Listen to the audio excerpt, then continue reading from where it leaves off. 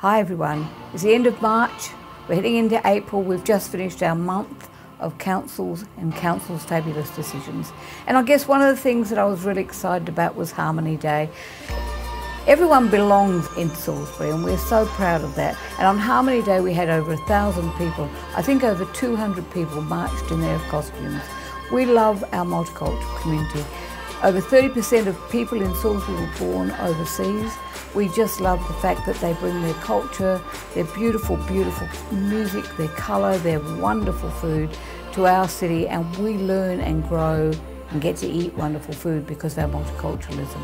So it certainly brings everything that we need to brighten and liven our city and enrich our city in every way. So Harmony Day is when we celebrate that. We celebrate the differences. We celebrate how wonderful it is to be together and to all belong. Very exciting day today. We hosted in here in the Salisbury Hub, the STEM City Forum. It's all about young women reaching their potential, knowing that they can achieve everything. And we had wonderful speakers from the UniSA and many other big industries in our city that came to tell women, yes you can, yes you can. We were lucky to get federal government that funded this. It's all about teaching young women that they can go into engineering, they can go into STEM.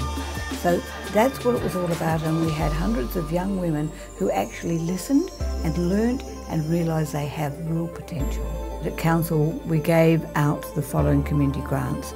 5,000 to the Para Hills United Church for their spirit of Ramadan's bringing together our diverse community for, for a peace dinner.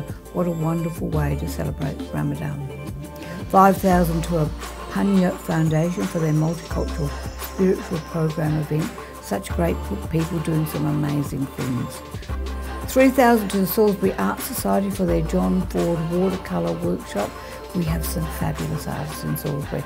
I'm always proud to talk to them and see their work. Up to 20,000 to the Parafield Gardens Men's Shed towards construction of a new shed at Parafield Airport. How fabulous. Those guys go off and make the most amazing things and it's great for them to be together and being able to support each other. So good on you Parafield Gardens Men Shed. Look forward to see you up and running.